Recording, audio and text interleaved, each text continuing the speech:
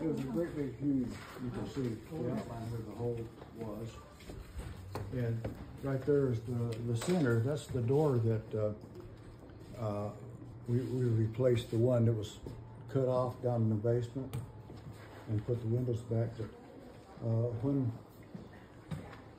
we had the, the masons out and they was rebuilding this wall, they tore this whole wall down and rebuilt it. And when they rebuilt the wall, we know that this room was built in 1872 because they found a brick in the wall that some little kid had wrote 1872 in it when they made the bricks here on the property. Uh, but anyway, uh, uh, that was where the picture was taken of the ghost. But anyway, the Masons came in here one day and they were working away and it was raining outside. And I'm back in the kitchen drinking coffee like I usually do. And uh, they come in there and says, "Hey Don," says, "We're hearing tricycle bells in that room." And I says, "Probably the kids across the street playing outside." No, we're hearing tricycle bells and we're hearing them in this room.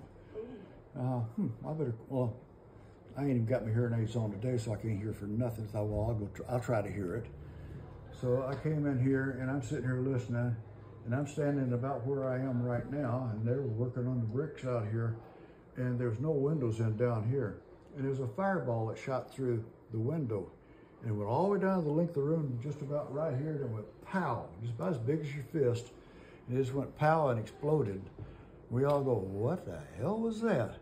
And uh, I remember my dad telling me when he was little one time that he had seen ball lightning. That's the only thing I can figure was just real strange that this is where I see ball lightning for the first time at. And it came right straight straight through the window down here.